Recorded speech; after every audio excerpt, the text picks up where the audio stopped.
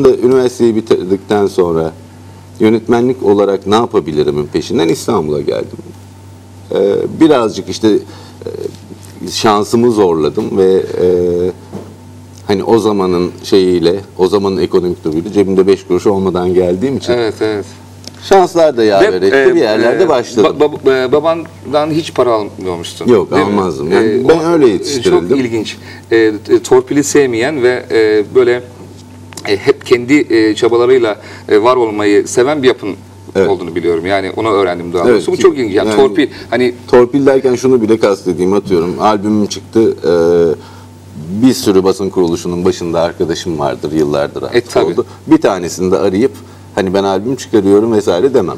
Onlar duyarlar, beğenirler ve kendi gidişatı içinde bir şeyin gitmesi gerektiğine inanıyorum aslında.